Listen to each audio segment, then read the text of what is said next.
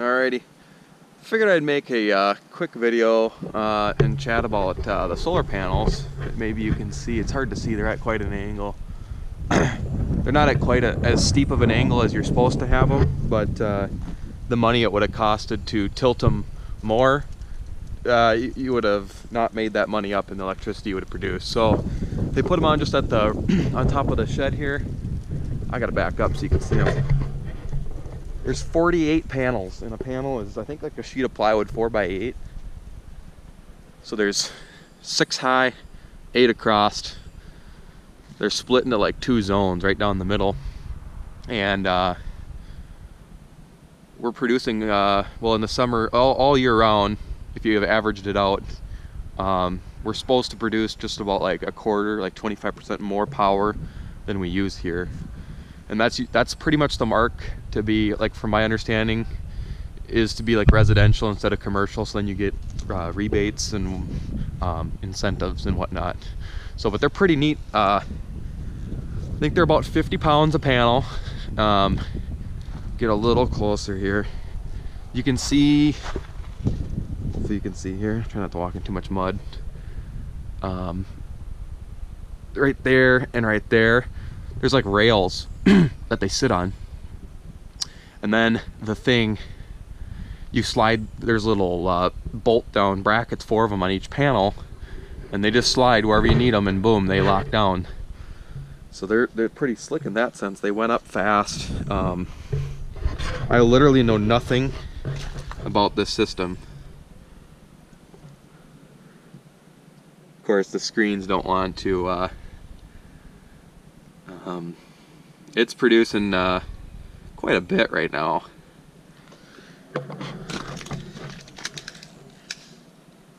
I don't know what your eyes are able to see. I don't think screens. Oh, sure you can. You can see it's counting up. It's making juice. So, predominantly, it uh, it runs in like kilowatt hours, I think, something like that, and that's what they charge you terrible with electricity. Gonna walk over here to these other panels, but uh, it's making juice and uh, there's like a system where you can store the power with batteries. Well, let's see here. What's this thing say? It flashes back and forth. 428. Something about the small numbers what we bought and the big number is what we sold. So, our, wait, no, we've, we, so we've bought 278, and then it should flash like a 400 number. 428. I think that's what the panels have produced. I don't know. I don't understand this system. Maybe not quite that much. Production meter, 373. I don't know. Somehow Xcel they added in so that one was already there, but they changed it out for a different one. House meter. Uh, this is like a uh, shut it off, I think, in case like uh, you have to work on something or something went wrong. Obviously, production meter, photo. See, I know nothing. I know absolutely nothing about electricity, but uh, I thought it'd be kind of neat to show you guys all energy solar. These are the guys that put it in. Um, all energy solar. Um, yeah, I know nothing about electricity. Uh, the dudes were hard workers. They uh, they put it up in like three days. They had rented a trencher, dug this whole trench, and I peeked out the window one morning. I got up for work, and they were hand shoveling it or like using a hoe to pull it back in. It was like wet clay because it was raining. And I'm like, I come outside, I'm like, are you seriously gonna do that all by hand? He's like, yeah. I'm like, yeah, hold that thought for a second. And I went and got the skid loader, and five minutes later, I'd buried the trench. He's like, oh, you just saved me four hours of work. No sense uh, doing that. I said, you got better things to do on the roof, hooking those things up. So, yeah, they're uh, they're pretty neat. Um, but like I said, I know nothing about the units, electricity, I just know that we're roughly making 25% more than what we use. Maybe not necessarily now. Um, it's kind of bright out today, which is kind of nice because the last few days have been cloudy. But um, yeah, the, so he said this thing like updates every four hours or something. It's three o'clock right now, and you can see the last data that it put in was around one o'clock. Um, so let me check this.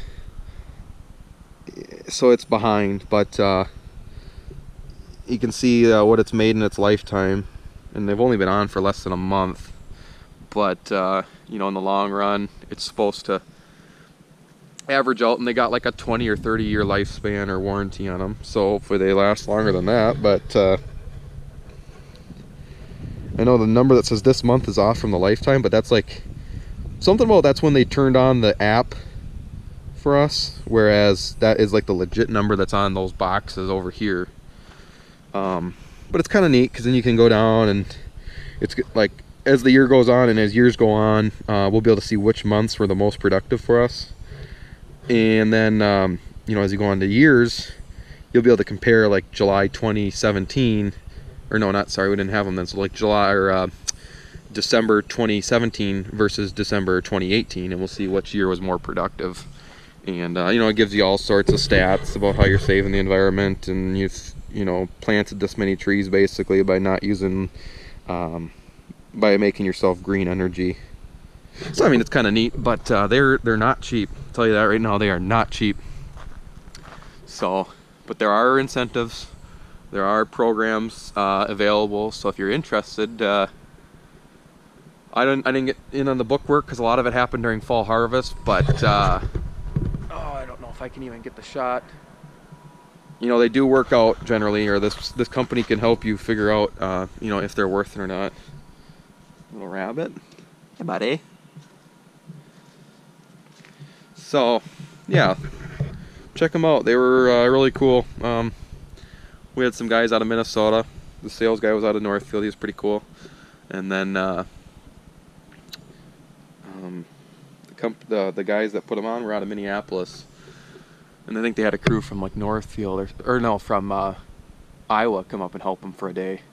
But uh, very simple. The rails went on in a day the panels went on in less than a day and then like the prep work they had to do some stuff very minimal work to the shed they added in a couple boards but uh, a lot of it had to do with putting these things on digging this trench and then just adding those rails once the rails are on the panels go on in a heartbeat so but yeah it's uh it's kind of nice to see them making juice with the sun out today uh, it's really kicking in some power but uh, maybe I'll learn more about them uh, he was over last week, the sales guy, to like kind of try to explain us how everything works, but uh, I don't understand it still.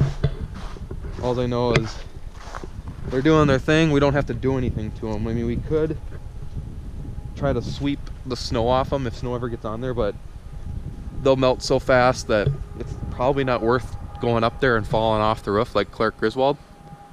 So we'll probably just leave them. You're not supposed to wash them, just let the rainwater do their thing. You could spray water on them, but I just say let them do their thing, personally.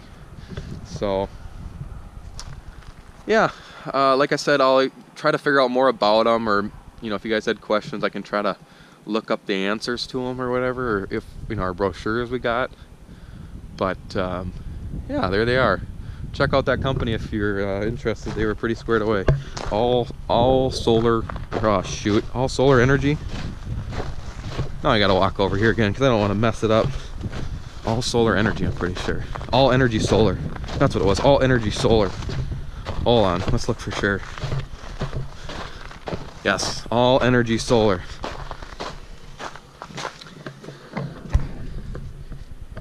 There they are.